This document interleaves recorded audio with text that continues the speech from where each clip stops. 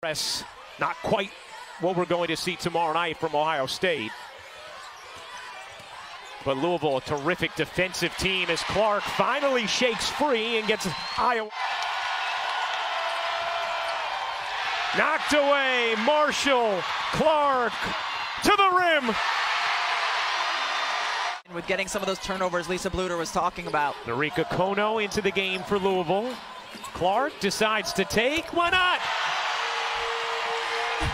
Jones just threw her hand up in the air like, what more can I do? Or and then out in transition.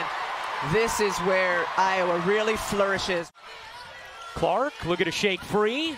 Clark, step back three is good. Here's Clark, guarded by Robinson. Clark firing again. Oh my! Caitlin Clark, a showstopper.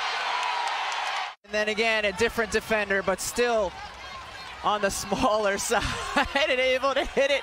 Possession arrow belongs to Iowa, so it's going to stay here. Here's Clark open in the corner. She got it. And that can't happen because Caitlin Clark is too. Of the junior's career. Here's Clark wide open. You bet. 31 for the Maestro. You know it's coming on inbounds play, the screen, and Jones gets caught up for a second. Clark Knocked away, Marshall, Clark to the rim.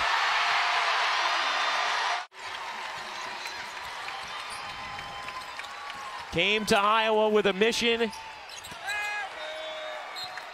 to take this program to the Final Four, and it has happened.